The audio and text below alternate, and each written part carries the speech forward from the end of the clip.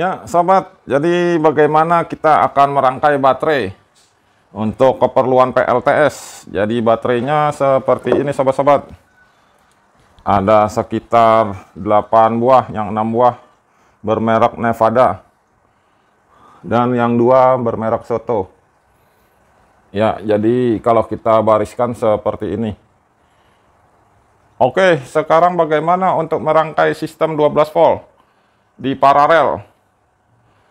Simak terus sobat-sobat untuk merakit baterai secara paralel yang menghasilkan 12 volt karena 8 baterai jadi 800 ampere hour.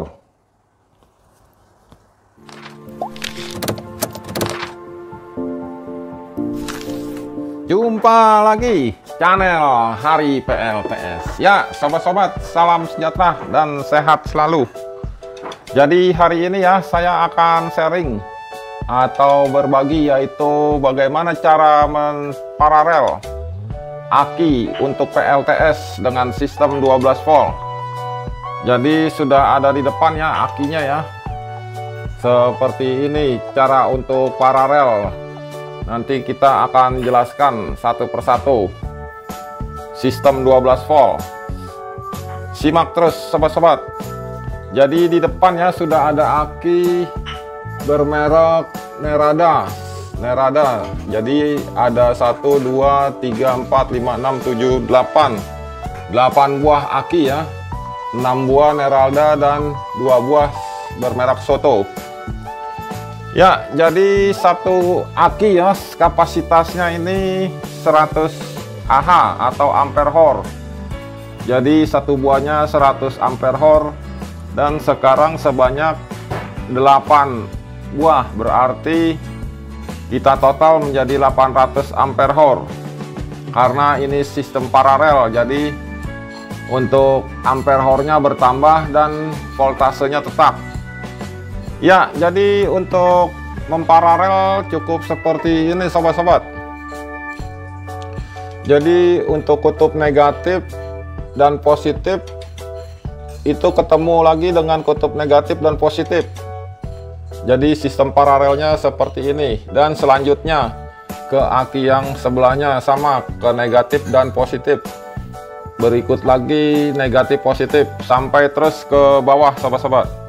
Jadi setiap kutub negatif positif itu dipertemukan masing-masing kabel dan outputnya bisa positif negatif. Jadi cara paralel aki sistem 12 volt seperti ini.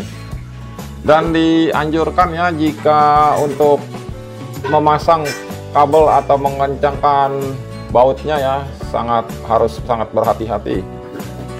Jangan sampai terjadi hubungan short karena jika terjadi hubungan short ia akan mengeluarkan percikan api yang lumayan besar dan bisa mengakibatkan kerusakan pada baterai ini jadi sistemnya seperti ini sobat-sobat. Dia punya sistem paralel. Baterai PLTS 12 volt. Nah, ini saya ada rencana mau rubah ke sistem 24 volt. 24 volt. Jadi saya akan bongkar semua ini dia punya kutub positif negatif semuanya karena sistem 24 volt itu di seri dua buah jadi harus direkap ulang. Mengganti sistem dari 12 volt ke 24 jadi harus membuat perkabelan baru karena sistem 24 volt aki di seri dua buah dan menghasilkan 24 volt. Dan masing-masing ada 8 jadi 1 2 3 4 jadi ada dua di seri dan di paralel akinya. Jadi seperti itu gambarannya. Disarankan sobat-sobat jadi untuk perkabelannya menggunakan kabelnya minimal memakai 16 mili atau memakai 35 mili lebih baik karena jika kabel diameter yang kecil bisa menimbulkan panas dan kurang safety jadi seperti ini sobat-sobat. jadi saya yang sekarang ini menggunakan kabel 16 mili. Dan outputnya ya outputnya harus lebih besar ya seperti ini ya. Nah ini kabel yang 35 mili. Jadi seperti yang merah dan hitam itu 35 mili. Agar arus dan dayanya tidak banyak loss atau hilang. Jadi seperti ini ya sobat-sobat ya. Untuk aki sistem paralel 12 volt. Untuk keperluan PLTS sehingga bisa mencapai tahan lama untuk menyalakan beban. Semakin aki banyak dan ampere hour banyak beban akan semakin lama bertahan Oke sahabat-sahabat jadi uh, review atau berbaginya sistem baterai atau aki 12 volt sampai di sini. Semoga bermanfaat untuk sahabat-sahabat semua.